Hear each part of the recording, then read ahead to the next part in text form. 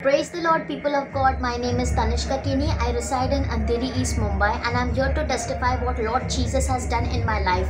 Few months back, I applied for my passport, but since I live on rent, I lack some documents, and the verification officer told me that since you lack two documents, so it is not possible for you to get your passport on time. And one of the service, Pastor Michael prophesied over the crowd, and he said that keep confessing by faith upon your documents, upon your land, upon your possession. In the name of Jesus, I pray for documents to be released right now. इस समय प्रार्थना करते दस्तावेज छूट Some जाए of you have lost your documents. आप में से कुछ लोगों ने अपने दस्तावेज गंवाए Your हैं documents were stolen. आपके दस्तावेज चुरा लिए गए Your documents were stuck up at some place. आपके दस्तावेज कुछ जगह पे अटके पड़े Today हैं I pray, let those documents be released right now. आज प्रार्थना करते दस्तावेज छूट जाए इस वक्त Lift your hands and say, Father, in the name of चलिए Jesus, अपने हाथ उठाकर कहे पिता यीशु के नाम में release your holy angels. अपने पवित्र स्वर्गदूतों को भेज Right now, angels are being released right now. इस वक्त प्र- प्रभु के स्वर्गदूत मुक्त हो रहे I हैं pray the stolen documents be recovered in Jesus' name. और प्रार्थना करते हैं इस समय के च- जो भी अटके हुए जो भी Begin to चुराए pray, हुए begin to दस्तावेज pray, छूट begin. जाए यीशु के It नाम may में happen one year, two years, many years back. God will recover those एक documents. साल दो साल पहले हुआ परमेश्वर उन सभी दस्तावेजों को छुड़ाएगा आपके Let लिए those documents of yours move in the right do- departments. आपके वे सभी दस्तावेज जो सही विभाग की ओर बढ़े यीशु के In नाम the में name of Jesus.